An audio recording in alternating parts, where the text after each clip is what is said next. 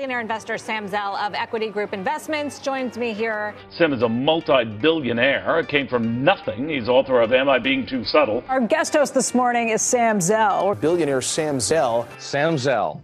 My sense is that uh, we're headed toward a recession. You know, the, uh, I mean, if you think about the fact that uh, in the last four years we've added uh, seven or eight trillion dollars to our debt think about the fact that, you know, until just recently, uh, Congress, you know, appropriated money in billions.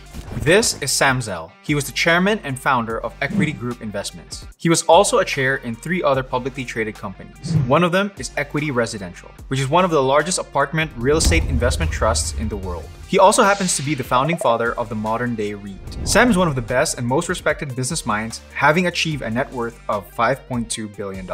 For someone who has been investing for 50 years, he must know a thing or two about market cycles. So his comments in this interview caught my attention because it is exactly what is playing out right now. But first, Let's start with what Sam Zell thinks of these large real estate giants defaulting on their loans. It's both pretty remarkable, it's pretty dangerous. Um, you know, the, the, rule of law is based on uh, everybody, quote unquote, being responsible for their obligations. Uh, if the biggest lender in the country, Blackstone, can walk away from their obligations, who else can? And, uh, you know, and if I'm a, a little guy and I have um, a two flat, and the question is, what do I do? And I pick up the newspaper and I see Blackstone, Brookfield, and PIMCO are all walking away.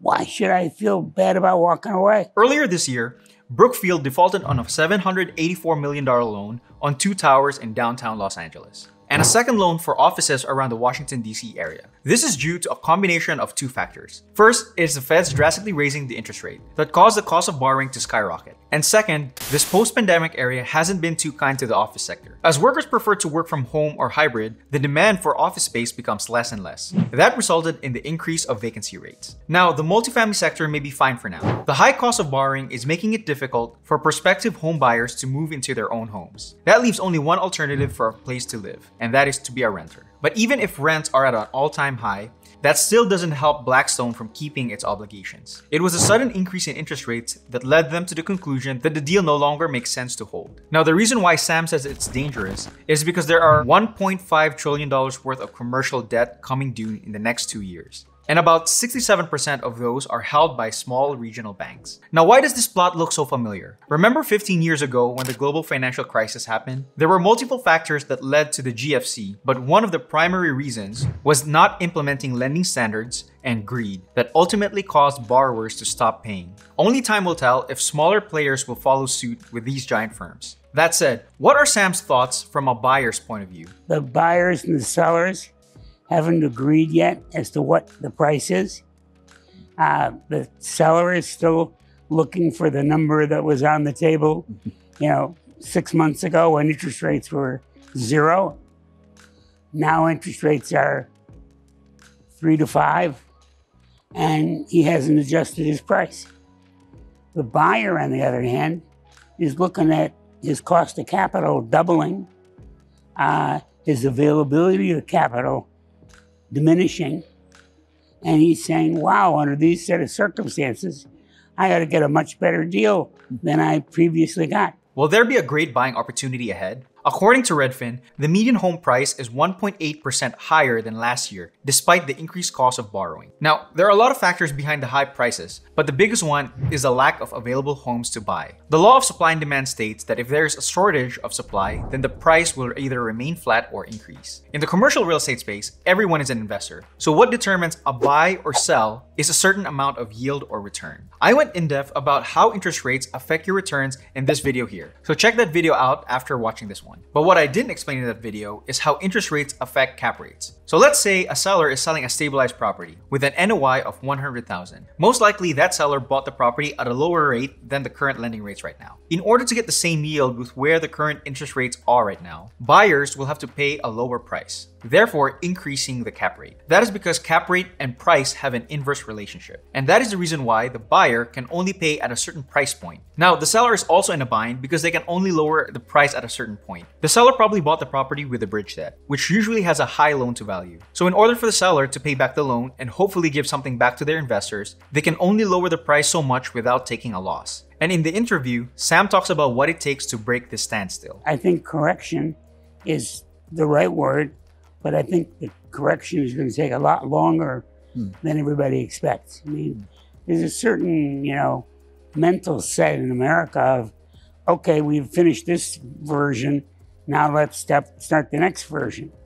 And there's never, ever an adjustment for what it takes to make that, that transition to cross that bridge. Unlike stocks or cryptocurrency, you can be forced to exit a deal with real estate, and that is due to the kind of loan you have. This is what Sam was talking about. Loans have different due dates, so the changes happen very slowly. It would take a lot of loans coming due and happening in close succession of each other for a major change to happen. As you can see from this chart, sometimes it can take years before you can see a major shift in the market. But for most of the time, the trend is gradual. And Sam was known for paying close attention to trends. So much so that he sold one of his companies when the market was near its peak in 2007. I'm talking about when Sam sold equity office properties to Blackstone for $39 billion. At the time, it was the largest single real estate transaction in history. And then all of a sudden, uh, somebody came along and uh, offered us a, a- a number that was materially higher than our NAV. Well, the moment that occurred, uh, as far as I was concerned, uh, I had an obligation to find out and you know see if the price discovery was there. And eventually, uh, uh, we made a deal, and, and that deal was significantly higher than the NAV. And this last point that Sam made is what I think is what separates the good operators from the great operators. It may sound trivial, but it is the biggest reason why investors lose money on deals. I've always felt that the day you, quote, take the public's money, uh, there's a definition of who you're obligated to. Uh, when you're investing your own capital in a private situation, you're, in, you're, you're indebted to yourself. The moment you go public, uh, the moment you take in public capital, that's the moment at which the public's interest is what should govern your decisions. This comes as a shocker that in the real estate space, we deal a lot of the building and the numbers, but it's actually a very relationship based business. Now, you may have noticed that I've been using the words was or formerly when referring to Sam's involvement with his companies. It's not because he quit or retired, but because he passed away in May of this year. As an immigrant myself, I was inspired by his story after reading his book, Am I Being Too Subtle? In fact, Sam dedicated chapter 1 of the book to all immigrants, which is titled An Impossible Life. That chapter explains how he was able to achieve all his accomplishments because of the way he was brought up. This is how he explains it. I was born uh, 90 days after my parents came to this country. So my parents landed in Seattle uh, May 18, 1941, and I was born September 28, 1941. Um, maybe the best way to exemplify that impossible life, etc., is the fact that the ship docked in Seattle at 6 a.m. And at 6 p.m., my parents went to their first English class, uh, which is indicative of the immigrant. And I, I, you know, de- I dedicated the book to the immigrant. And uh, more than anything else, I grew up in a household where my father and mother constantly reassured me or told me that this is America. This is where the streets are paved with gold, and that gold is not what you pick up, it's the opportunity to pick it up. That's what America really is all about. And uh, therefore, I grew up in an environment where I didn't know that anything wasn't possible. Now, there are a couple of things that not a lot of people know about Sam. One of them is that he's a wonderful philanthropist. He sponsored multiple educational programs to set up our young entrepreneurs up for success. And another is that he likes riding motorcycles. His motorcycle group of entrepreneurs is called the Zell's Angels. Anyway, I hope you not only learned something from this video, but also found inspiration from the life of Samuel Zell. Thank you for watching.